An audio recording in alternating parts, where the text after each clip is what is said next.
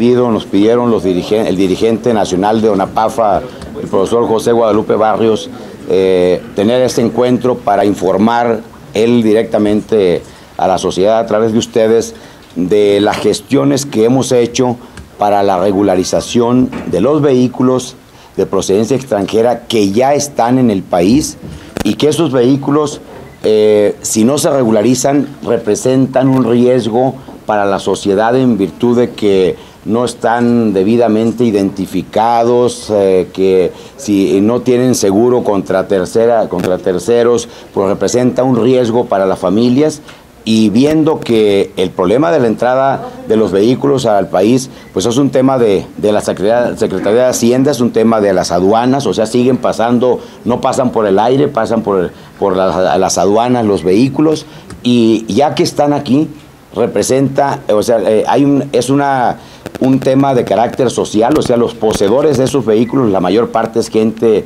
de, escasos recursos, o sea, que no tiene la capacidad de comprar posiblemente un vehículo nuevo, pero que sí quieren ellos estar eh, en en regla, o sea, tener toda todos sus eh, documentos que los acrediten como los eh, no solo poseedores, sino propietarios de esos vehículos. Y en tal virtud es que eh, a una petición del el profesor José Guadalupe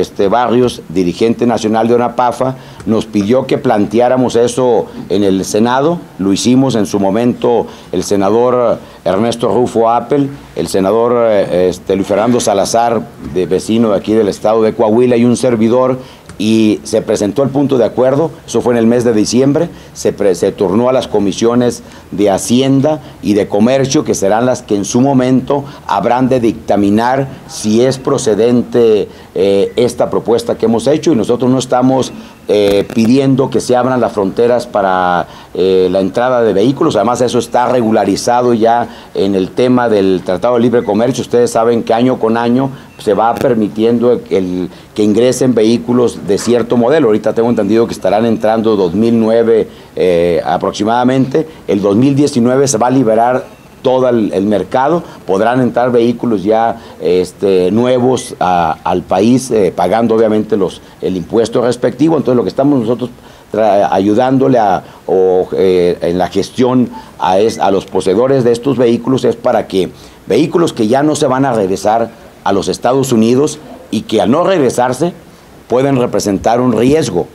para, la, para, la, para las familias, es que lo que están ellos buscando es que se puedan regularizar pagando los impuestos respectivos y después que cada vehículo eh, pueda circular con las placas respectivas y que no permitamos que efectivamente circulen vehículos que no tengan la identificación oficial que se requiere, en este caso, que son las placas. O sea, creo que eso debe, es para darle confianza, certidumbre a los ciudadanos, no solo a los poseedores o dueños de esos vehículos, sino desde luego a cualquier familia, a cualquier ciudadano. Ese es el, esa fue.